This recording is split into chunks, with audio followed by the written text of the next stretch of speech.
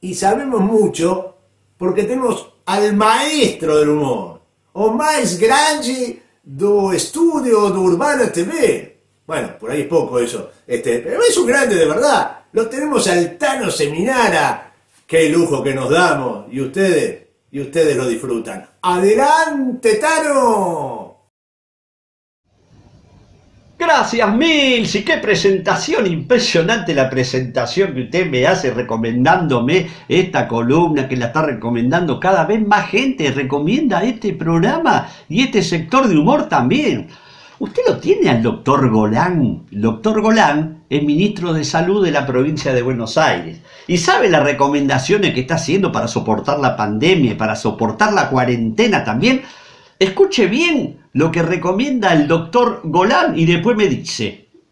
Como médico con más de 30 años en la profesión, yo para mejorar su salud le recomiendo por lo menos al doctor Fayusto tres veces al día o si no, después de cada comida.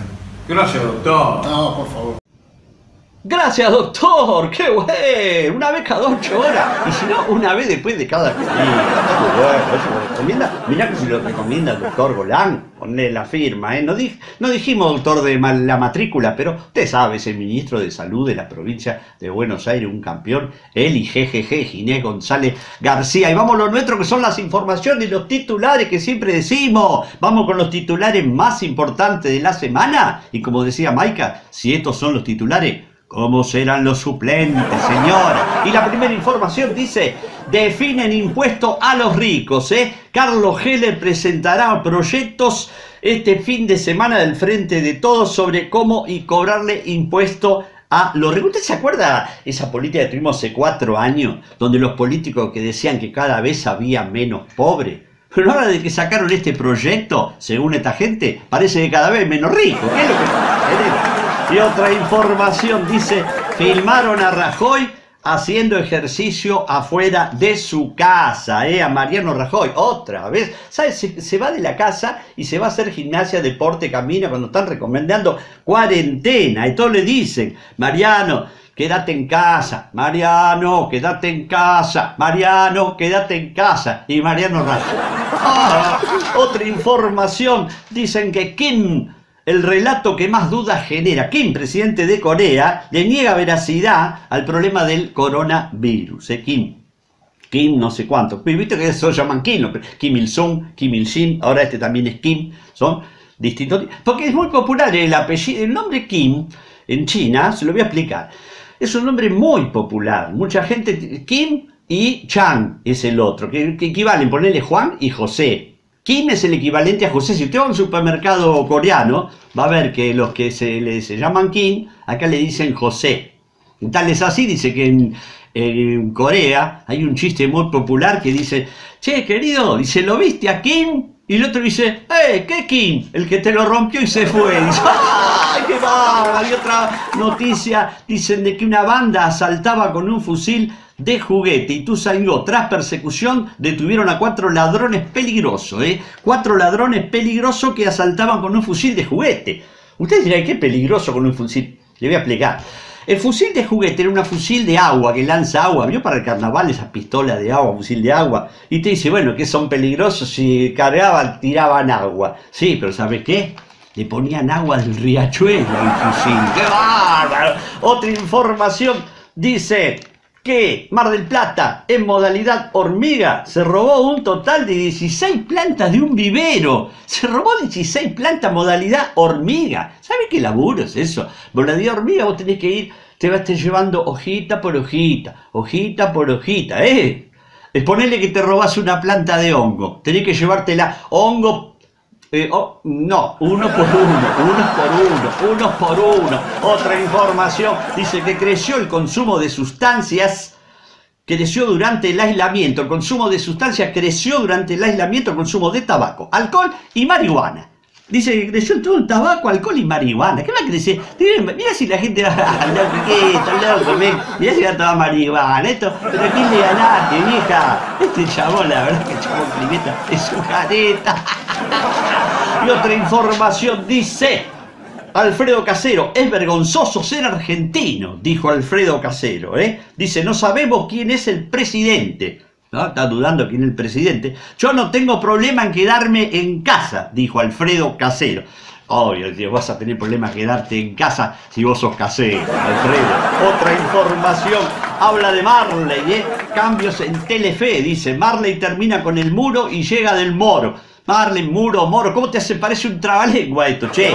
Dice, por ejemplo, viene del moro, se va al muro, llega al moro, pero ¿cómo es? Un quilombo. ¿Por qué no dice así? A del moro y al muro no lo miro. Difícil lo mire, miro a Maru o a Mari. Y si no sin demora, ándate al mar.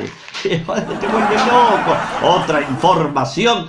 Dice el desafío de Agustín Pichot. ¿eh? Quiero ser presidente porque busco un empuje para el rugby. ¿Quiere ser presidente Agustín Pichot?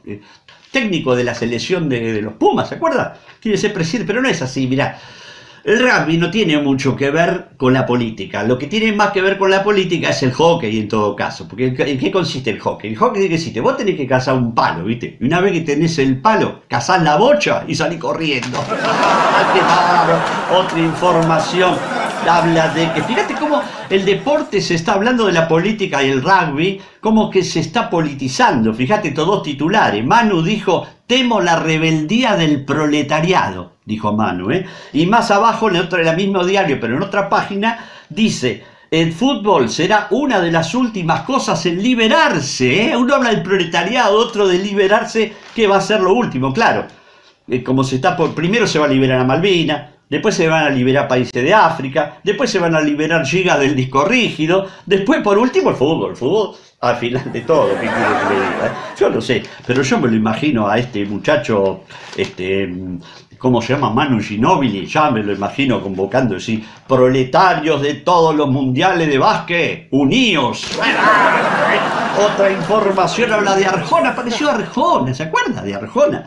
Arjona pagó un viaje a sus fans, es una campaña para presentar su nuevo disco. Arjona quiere presentar su nuevo disco. ¿Y qué hace? A los fans le paga el viaje para que vayan a ver. La verdad, ¿qué quieren yo si me paga el viaje?